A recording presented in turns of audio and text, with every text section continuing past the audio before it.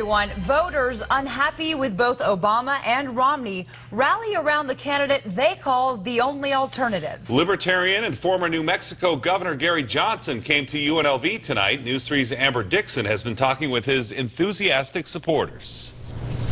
Yeah, a few hours ago, his supporters were in these seats behind me listening to what he has to say about his plans to become president. They say they're not concerned with his low poll numbers. They want their votes for him to send a message that they're not satisfied with just two choices when it comes to picking a president.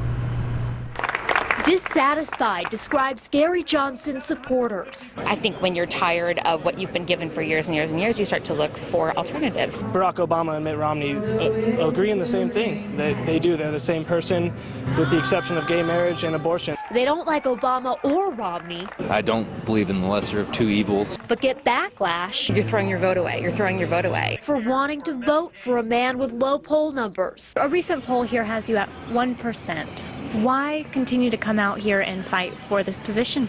You know, I happen to think that it's it's more than that. I mean, the national polls that have been released lately have me at five or six percent nationally.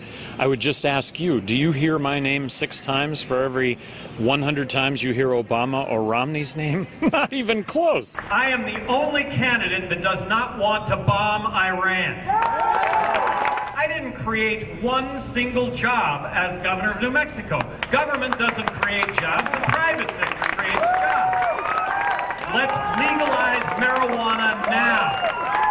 And a vote for Johnson could take votes from Romney. It could end up helping Obama because we would think just that he would attract some Ron Paul voters and some libertarian voters who might otherwise um, vote for, a Republican. That's okay with voters like Jessica Lemus. I think that this is just the beginning, and I'm willing to, I guess, sacrifice. She says a vote for Johnson is a step to a presidential election with more than just two options.